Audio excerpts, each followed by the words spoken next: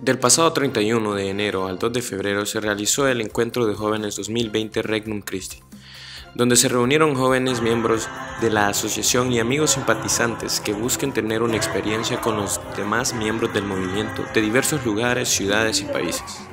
Este evento masivo busca que todos vivan la experiencia del acercamiento a Cristo. El encuentro se llevó a cabo en el Centro Internacional de Conferencias de Yucatán y la clausura en la Universidad Anáhuac Mayab en el Foro Cultural Alejandro Gómez. Asimismo, un estudiante nos comentó acerca de su experiencia. Hola, mi nombre es Iván Tobar. vaya, me llevo una muy bonita experiencia con amigos cercanos.